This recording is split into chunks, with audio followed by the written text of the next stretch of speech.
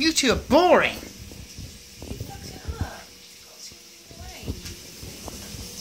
Uh, I'm documenting our dog fight.